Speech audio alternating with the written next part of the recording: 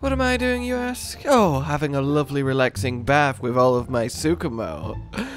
Wait, what do you mean they're electrically powered robots? Hello, ladies and gentlemen, fellow hunters, and welcome today as we talk Tsukumo, our Karakuri powered balls of fun that follow us round being right proper little buddies to our hunting endeavors. Oh, and a uh, quick thank you to EA for sponsoring uh, this uh, video and for indeed making such adorable little roly-poly companions. They're not apparent in multiplayer, but in single player, you will have one with you at all times, unless you, of course, decide to deliberately ask it to stay at home. You get your first Tsukumo from, well, finding your first Tsukumo. You will bump into one, there is that lovely telltale, like, dice in a cup noise, I want to say, when you're nearby and that'll let you know to have a little look. Once you have your first Tsukumo, if you rest at any given fire, you can have a right proper good look inside it. You can rename it too if you want a more personal touch. There are four forms to the Tsukumo, the attack, the defense, the healing, and the threader. Now, all four are active at all points, and you can upgrade all four of them separately. We will get to how you upgrade them in a moment, but know that they each contribute to it doing what it does. And the message here, ladies and gentlemen, if you take away anything from this video, it is is upgrading your Tsukumo is important. Not for your Tsukumo's sake, though it helps, but for your sake. You see, the more levels in total you have on your Tsukumo, the more thread you start hunts with and can hold. Which means the more Karakuri and Fusion Karakuri you can use without running out, which is obviously really important. This goes up to giving you 24 thread in your stockpile once you upgrade him enough. And as a tip as you go through the game, always upgrade whatever requires the least amount of cogs to upgrade, and therefore you'll get to a higher thread count the fastest than if you stubbornly stick to one of the four categories. But you might be there like, Cogs? What do you mean, cogs? Well, every time you find a Tsukumo in the wild, and there are 50 on each of the four maps, it will give you a cog as a reward for, well, rescuing it from, I guess, its peaceful, happy existence and forcing it to serve you. And these cogs are what you upgrade Tsukumo with, so in total you can find 200 cogs.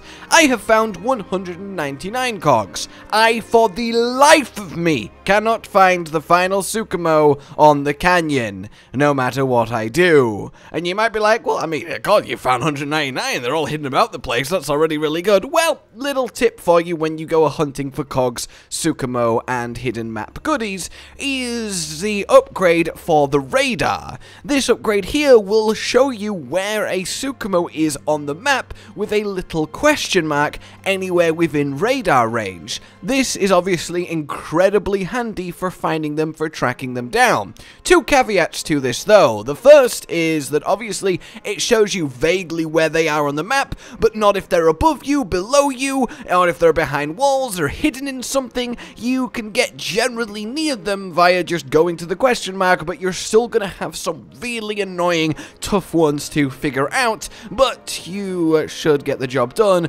with enough patience. Secondly, some of the question marks don't seem to appear until you have physically walked through the general area that they are in, so that's something to bear in mind too. But basically, your goal then is to go to each map, find all 50 Tsukumo, get your 200 cogs, and then you can go crazy upgrading. You can reach the max 24 thread for your hunter at about 150 cogs or so, so you can stop there if you really can't be bothered. Outside of powering up each of the forms, getting the cogs does unlock two things. The first is the Tsukumo bath that you saw at the start, and this is really, really good. Outside of just, you know, the funness of it, every time you do a new bath at the baths for the first time, you get two permanent maximum health, which you can view as an extra two health boost skill permanently just passively on your character. That's really nice, so this is a min-maxer's dream. Secondly, you'll also unlock a Tsukumo statue as a symbol of your dedication to these little guys. So, the actual farms then. Each one goes up to level 10 and gets more expensive as you level it up more. Attack farm is fairly simple. It will make the boxes, the little Karakuri crates that the Tsukumo throws, do more damage. You will eventually also unlock a super crate to the uh, big barrage, which is a little red explosive bomb that does about double the damage and overall contributes, yeah, a fairly good amount to your hunt. At level 10, you'll start seeing 50s and 100s depending on which attack it uses, which certainly does help at least a little bit. Defense is simply how tanky and healthy your Tsukumo is, which is tied to how much it's going to be alive during the hunt. Once it goes down, it will shield itself and recharge slowly, but even at level 1 defense, it still comes back fairly quickly, and Kemono for the most part will ignore it. Then we have the healing. This, at level 10, is ridiculously good. It'll cause your Tsukumo to release a healing mist. When you get low health, it will deliberately wait for you to be low before triggering it, so it's not wasted, that for a very long time will power up your health over time really effectively, making you very, very hard to kill for as long as you stand in it. And at level 10, this recharges very quickly, making it probably uh, the most effective thing the Tsukumo brings to the table, outside of perhaps Threader form, which will cause it, when you get low on thread, to throw out a load of thread as if you had mined a Karakuri thread node, so you can keep going with your Karakuri conjuring. That is, of course, fantastic and one of the best reasons to have one of these guys around around.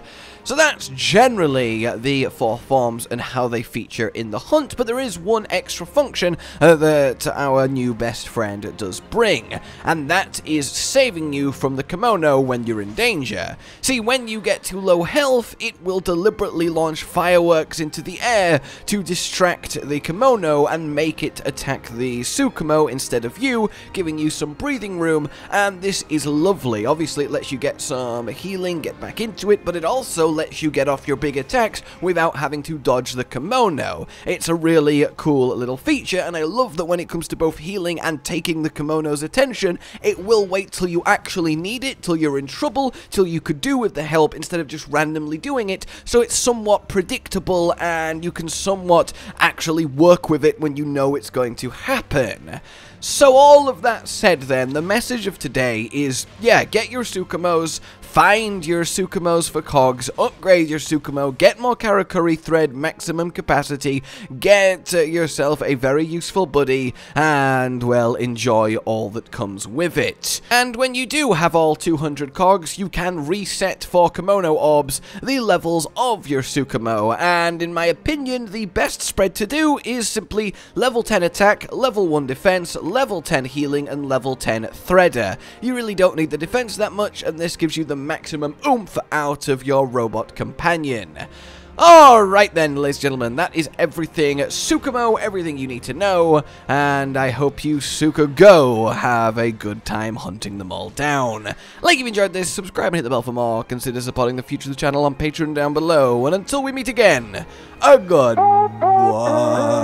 goodbye. Josh, Cotton, and Hollow with the videos, dropping the humor like a hammer on your tippy toes, bringing entertainment on a daily arrangement to take our insanity and turn it into entertainment. Yes, I said entertainment twice to reiterate that it is nice to look into your faces on a mostly daily basis when you let us in your homes to make the whole world a stage. Is uh goodbye.